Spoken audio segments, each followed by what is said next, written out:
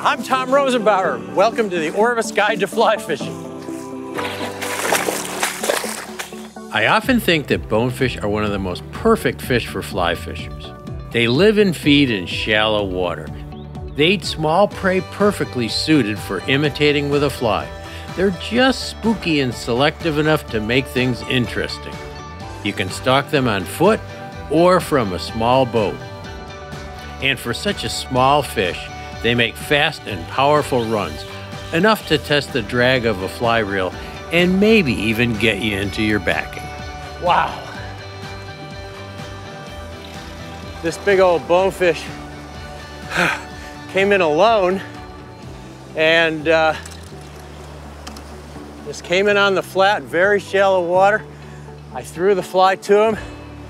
He came right over and ate it. They don't always do that. Yeah, nice fish!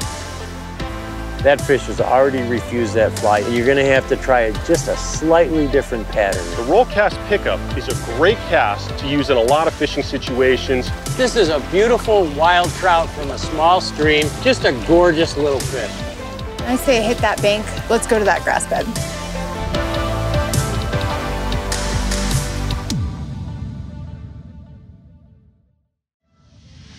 The Orvis Guide to Fly Fishing is supported by Orvis Fly Fishing, Tarpon Key Lodge, Bahamas Tourism,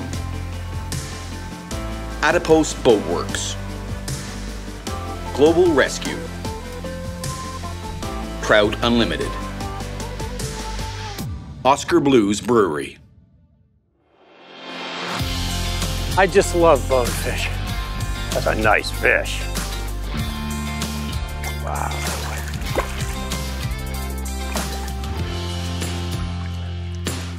First, let's look at the life of a bonefish. How to find them, how they move with varying conditions and tides, and how they feed. The better you understand their behavior, the better your success and your respect for these great fish.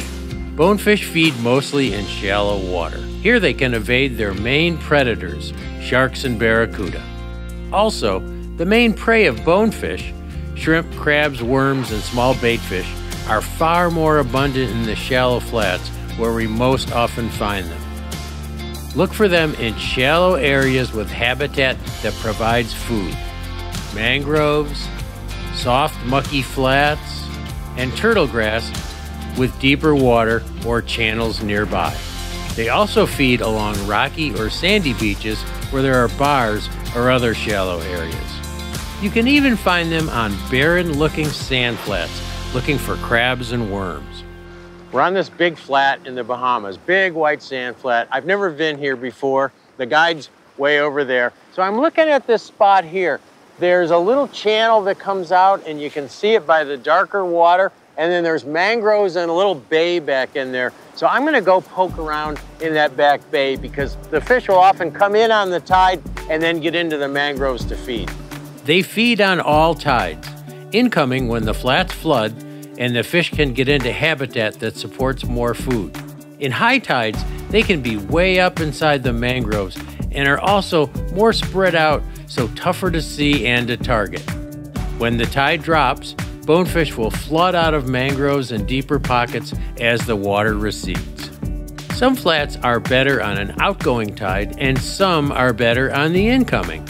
It really varies with the topography of the flat and the behavior of the local school of bonefish.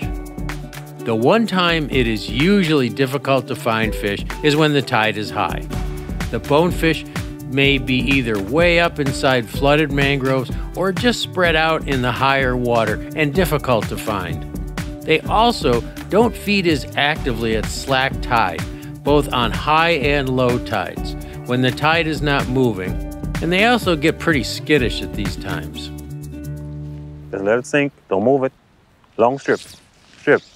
Stop. Long strip hard. Got him.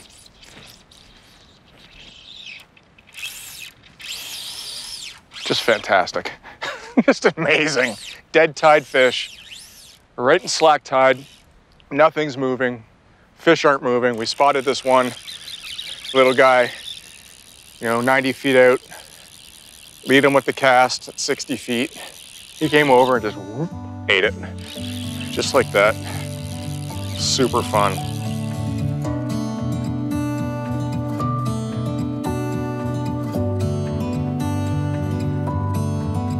Bonefish can be found in schools of many fish, usually smaller ones, or as singles, doubles, or in smaller groups, which are usually bigger fish. When bonefish feed, they prowl through the shallows, scaring up prey. They'll readily pounce on nearly anything that moves and some things that don't. They're not particularly selective about what they eat as long as it fits into the shape and profile of something they've eaten recently. Bonefish are creatures of habit. The same fish will typically frequent the same flats at the same stage of the tide, barring any inclement weather or other disturbance. If you find a school on the incoming tide on a certain flat, chances are the next day they'll be in the same places about an hour later because of the daily tide advances. But strong winds or changes in water temperature can affect their daily behavior, so be ready for the unexpected. Bonefish feed in roughly the same manner wherever they are, but the depth of the water can affect how we observe their feeding. In deeper water, we look for cruisers. These are fish that move through deeper water without showing any disturbance on the surface, other than making a wake sometimes when they cross a shallower bar. Sometimes they can be spotted if the light is not bright by looking for nervous water, which is a shimmer to the surface that is contrary to what the wind or tides might be doing. Without bright sunlight, fish like this might be tough to see because they're so well camouflaged on the bottom. Look for shadows and objects that move under the surface. Bonefish almost always never stop moving, and thus don't look for a fish shape in the water. Look for movement of indistinct objects that move in erratic directions. They can look grayish or greenish in the water, and the fish seldom have sharply defined edges, except in bright sunlight when you can spot their shadows. The hardest place to spot cruising bonefish is on darker bottoms or on mottled bottoms. They show up much better on light bottoms. It's sometimes easier to spot bonefish while wading because you're not moving, even though you don't have the same height advantage in looking into the water from a moving flats boat, even immobile objects can appear to move to the untrained eye. This morning, we've got what could be considered the perfect setup. We're in a nice, calm little bay. The bonefish are moving toward us, and we can see the wakes a long ways away. So we have time to set up, get ready, make a nice, calm cast, put it out in front of the fish, and hopefully catch some fish. But it doesn't get much better than what we've got right here. Get ready. You got your eyes on them? Yep. All right. Got my eyes on. Remember they break that rock, start casting on them. Okay. Go ahead. Lead them to the right. Stop. Long strip hard. All right.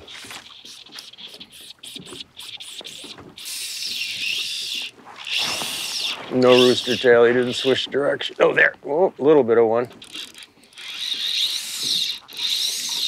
There's one. There's a rooster tail. Yeah, bring your rod tip off higher. Bring your rod tip higher. One on the rocks. See what he's trying to do? He's trying to smash the fly in the rock.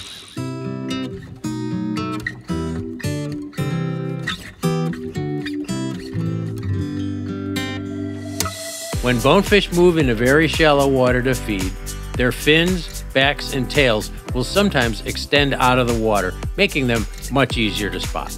Sometimes you just see the occasional fin wink on the surface. Sometimes you'll see their dorsal fins plowing through shallow water. This is called a crawling fish.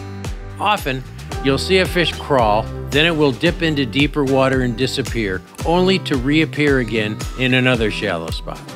When bonefish are rooting for crabs and other prey on the bottom, you may see their entire tails break the surface as they perform headstands trying to get into crevices in the mud or grass. You are especially likely to see this at dawn, dusk, and on dark days when you can't spot them any other way. When one or many bonefish feed on a soft bottom, they may leave a trail of discolored water called a mud. Try to find out which direction the school is heading. The mud will be thickest in the direction they're traveling. Nice little bonefish out of a mud. Not, uh, not my favorite thing to do. You can't really stalk them, and it's actually not that challenging. But if you really need a bonefish, you really want to catch one, or especially if you want to catch your first one, a mud is a good place to go.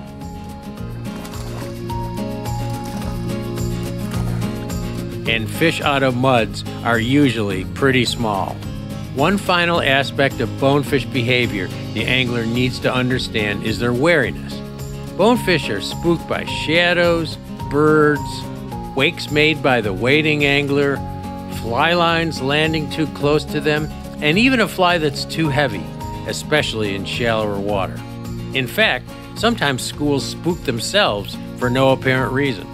A school of spooked bonefish may move just a few yards and then continue feeding, or the whole school can suddenly bolt for deep water. Next, we'll show how to choose flies and how to catch these stealthy creatures. Now that we know a bit about bonefish and their behavior and how to find them, let's talk about the second part of the puzzle how to feed them. Bonefish are not terribly selective, but it pays to use a fly that looks somewhat like what they eat on a regular basis. So there are various types of bonefish flies. Um, we try to imitate the, the stuff that they eat every day. Some of the things that they eat we can't imitate, like clams and shells. Um, but they eat a lot of crabs, and we have crab flies. And if you see a lot of crabs on the bottom, or if you're back in the mangroves, probably a crab is a good idea. Uh, shrimp flies are more common um, in grass beds and sometimes over white sand bottoms or mixed bottoms. These flies imitate shrimp. And then there's other flies that who knows what they imitate. This might be a, a worm or, or some other kind of aquatic organism that bonefish like to eat. So there isn't a real wide variety of bonefish flies like you might find in, in trout flies or flies for other species. Uh, basically, you have the biggest hook you're going to use is like a size four or a two, and that would be for Bahamas and Florida, Cuba. And then kind of the general purpose um, is size six, which you could use most anywhere. And then if you're going to places like Mexico, Belize, and um, Christmas Island, they prefer smaller flies as small as a size eight or even a 10.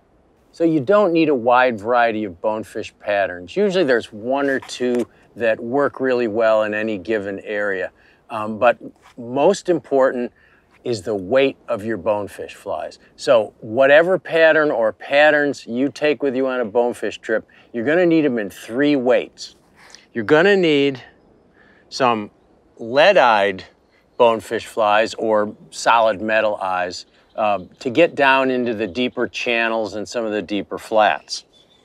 Bead chain eyes are kind of the standard in most depths of water where you're going to find bonefish, kind of a medium depth, uh, maybe uh, two to four feet of water.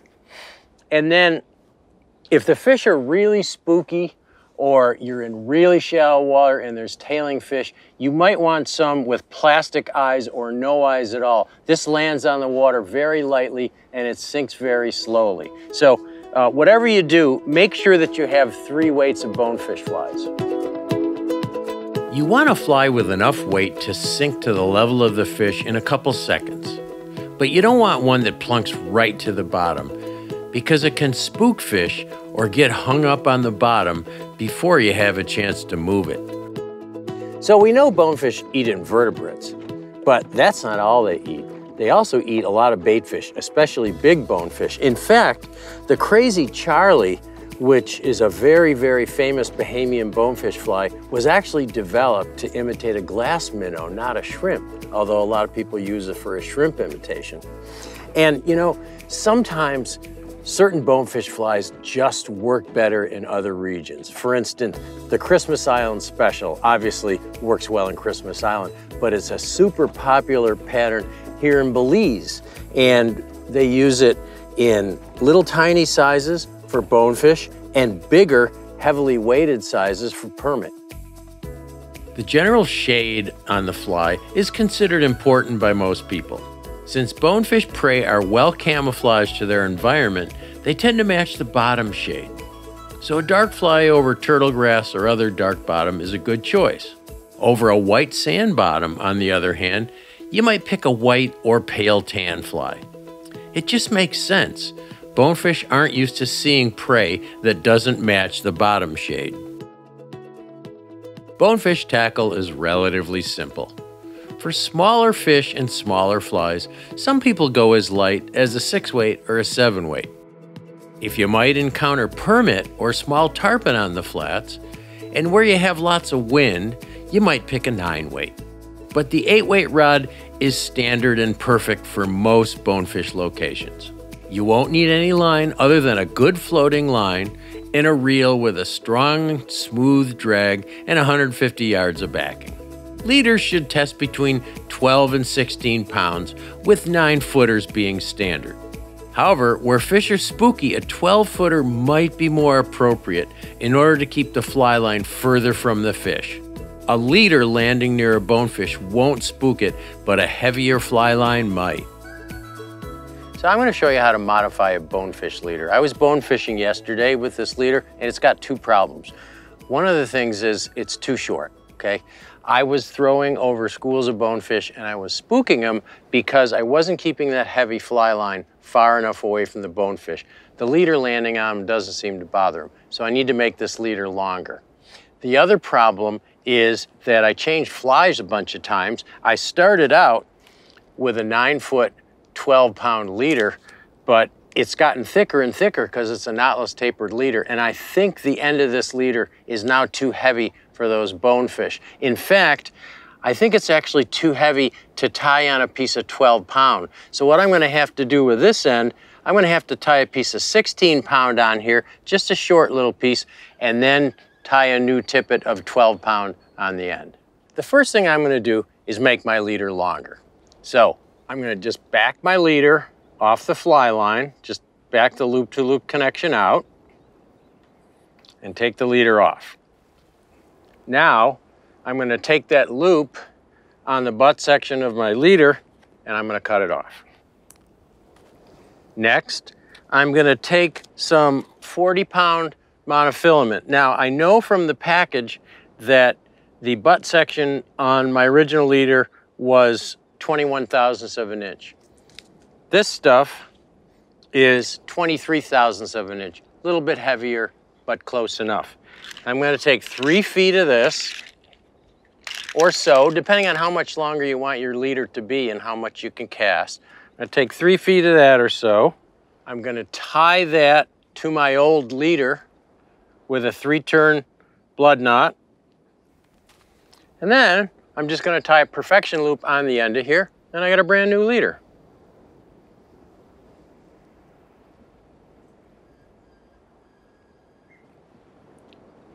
Instead of a nine foot leader, I've got about a 12 foot leader. So now I've got to get back to a longer 12 pound tippet. And it is really too heavy, I think, to tie 12 pound directly to this and have the knot hold well. So what I'm gonna have to do is cut the old tippet off and I'm gonna take a piece of 16 pound, not too much, just a little transition section, maybe six, eight inches or so. And I'm gonna tie that to the, the end of my leader, the other end, not the butt section. So I don't need much there. I'm just not comfortable tying the 12 pound onto this heavier stuff. But now I'm a lot more comfortable tying the 12 pound to the 16 pound. I think the knot's gonna hold better. So now I can put my tippet on the end of this shorter section and tie this on with a blood knot and my leader is now ready to fish and I'm a lot happier with it.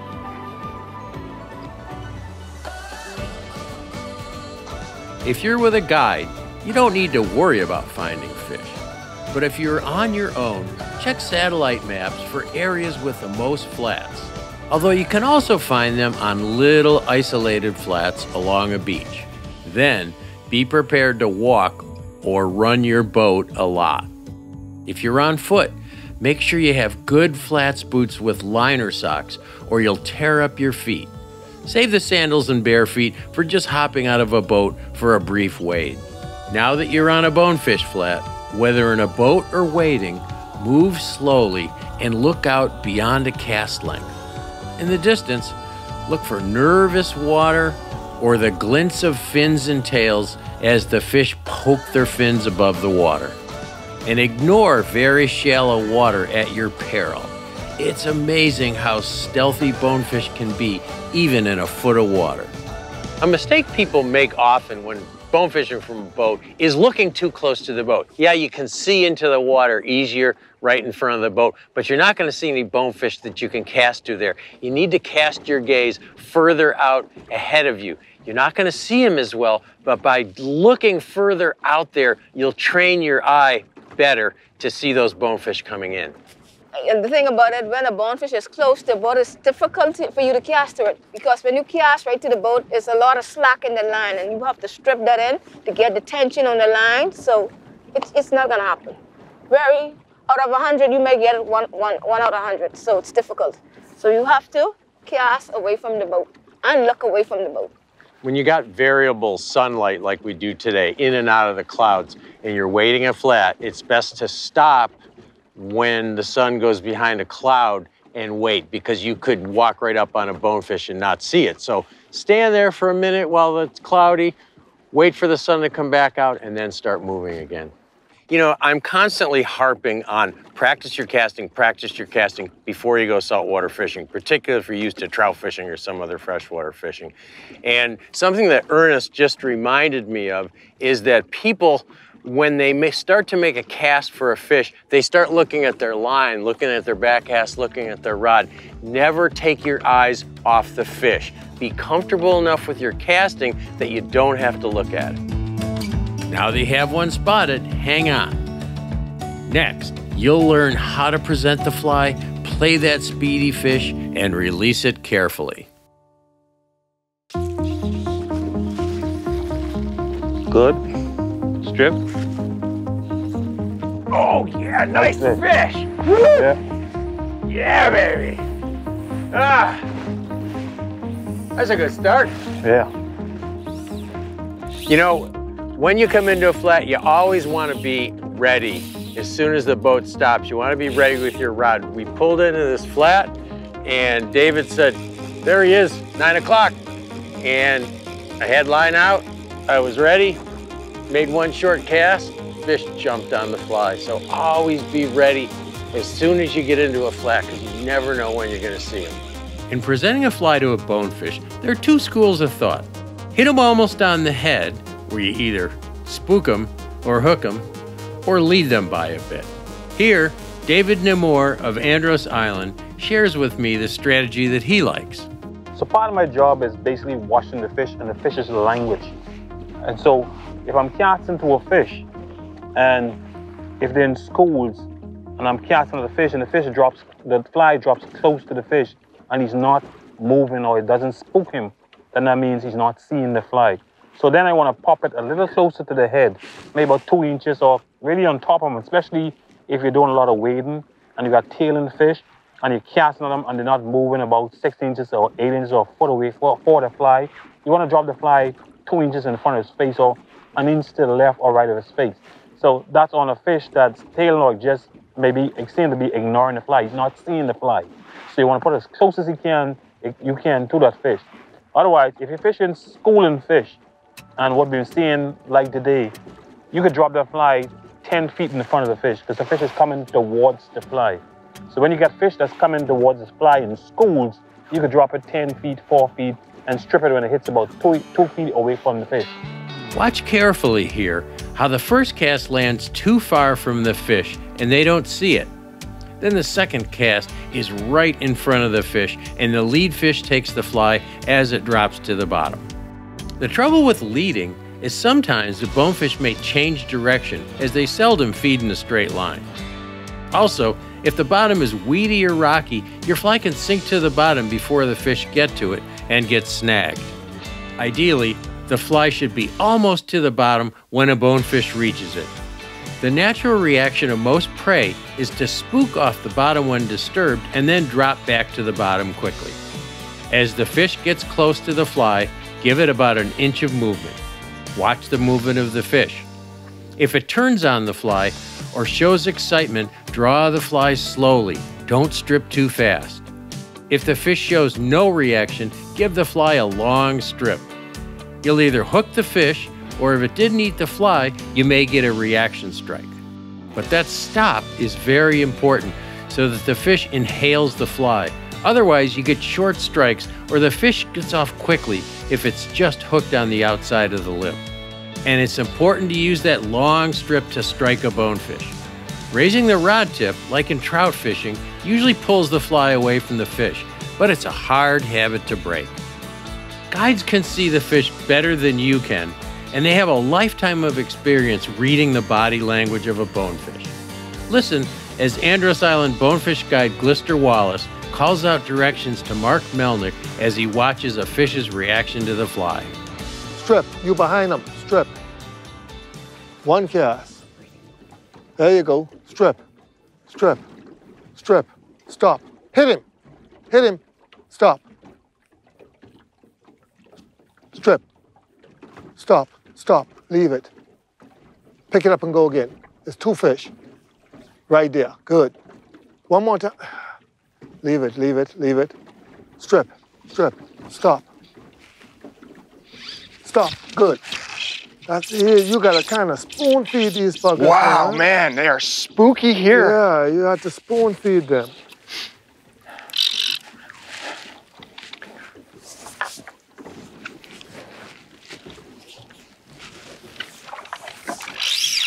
Just beautiful. He may be injured, but he's still got a fight in him. Sure does. Big heart. Yeah, still in the game. It's a big fish too, you know.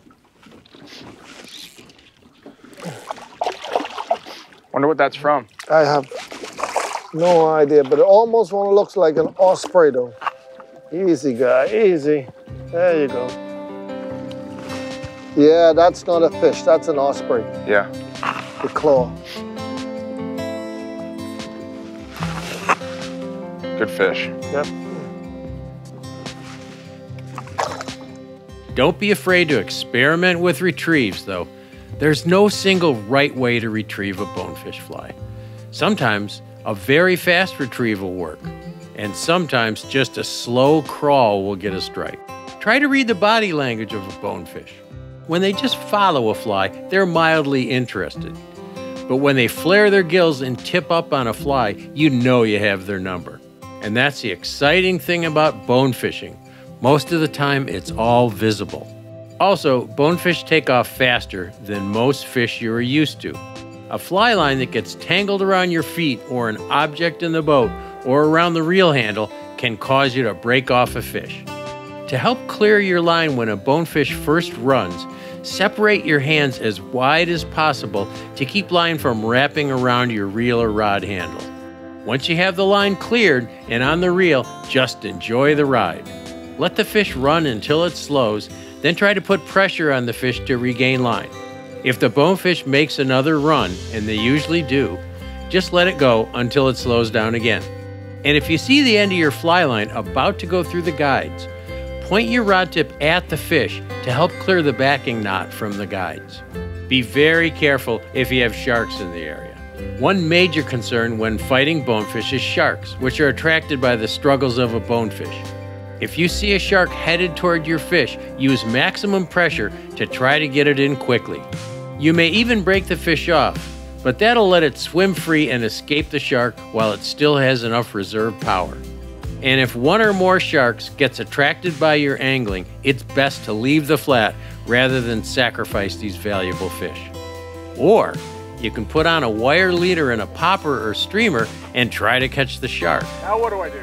That's the question now. Sharks are a lot of fun on a fly rod, if you can figure out what to do with them when you get them close to the boat.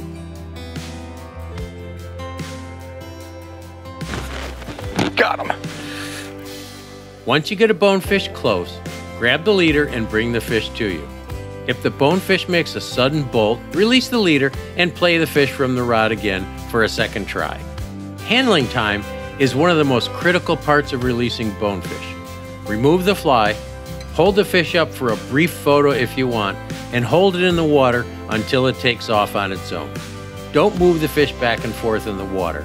Just let them rest in clear water.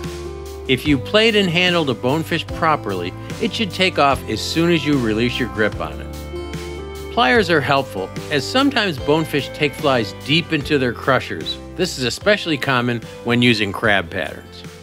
You probably see me make some decent casts, and yeah, I'm an okay caster, but you're never gonna be good enough to make all the shots in bone fishing. But the more you practice before you go on a bone fishing trip, the better off you're gonna be. Practice your accuracy, practice your distance, practice in the wind. Um, you're going a long way to fish for these fish and you're spending a lot of money. Don't ruin it by not being able to make that cast. In all situations, strive to make as few false casts as possible, and no false cast if you can manage it. A fly line in the air is more likely to spook a bonefish, and the more casts you make, especially in the wind, the greater the chance you'll find yourself with a tangle. If you're fishing from a boat, it's extremely helpful to be competent on casting from your off shoulder. You never know when a bonefish may suddenly appear on the wrong side of a flats boat. For some really helpful tips on how to cast over your off shoulder, even into the wind, let's visit my friend Pete Kutzer for some valuable lessons. Hi, I'm Pete Kutzer with the Orvis Fly Fishing Schools. Today I want to talk to you about making a backhand presentation with your fly rod. When we're casting with a fly rod, we have two casts that we're making all the time. We're making a back cast and we're making a forward cast. Both of these casts are great fishable casts. And that back cast, if we can make a good one at our target, it's going to double the chances of us catching those fish. We'll be able to deliver that fly in any direction. When we want to make a backhand shot, there's a couple things that we want to keep in mind. One thing that I really like to do is take my right shoulder, I'm a right-handed caster, and point it at my target. If I'm going to cast out in this direction, I point my shoulder right at my target, I can make a forward cast up in the air, back cast, I can deliver right there to those fish. There's a couple things we got to be careful of though when we make this backhand shot. One, we want to make sure that we don't sweep our rod around to point at our target. If we do that, our fly a lot of the time will go past our target and we'll miss our mark. The second thing is we want to make sure that we get that loop to turn over on top.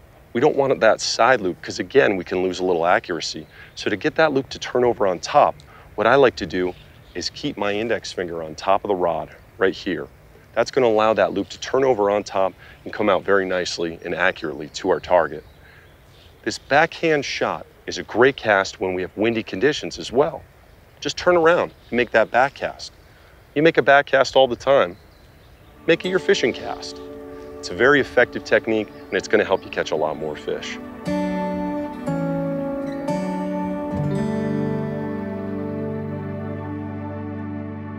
Finally, I'd be remiss if I didn't mention perhaps the most difficult aspect of bone fishing for fly fishers used to freshwater fishing. And no, it's not spotting fish.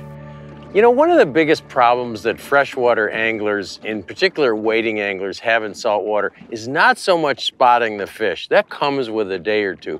But one of the things I see that really wigs people out is the fact that the wind is blowing, the boat is moving, the tide is moving, and the fish are moving. And you have to put all these things together in your head when you deliver that fly to the fish. One of the things I like to do is just occasionally glance at the bottom. Most of the time you're gonna be looking out beyond your cast, but occasionally look at the bottom to see which way the boat is moving in relation to what's going on out there.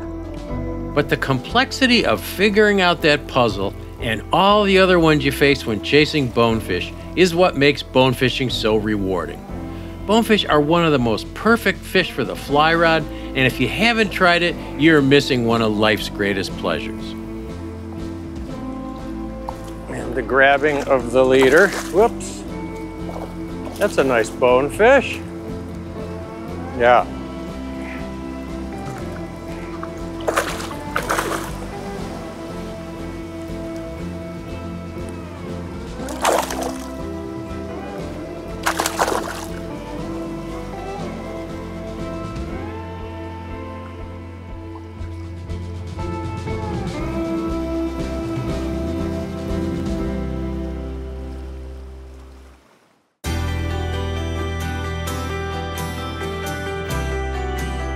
Strip it. Strip it. Stop, stop, don't move. Strip it slow. Long strips. Strip it faster, get fast, get a lead across them. stop, stop. Long strip. Take out right one. Oh, you got him, sorry. I didn't see that second fish eat. Yeah, I didn't see him eat either. Yeah. Whoa, man. You're working These it hard. fish are tough. Yeah. yeah. That's why I love bone fishing.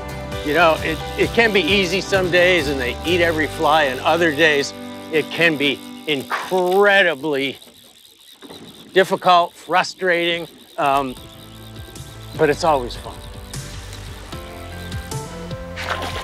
So that's what we were seeing yesterday. Nice fish.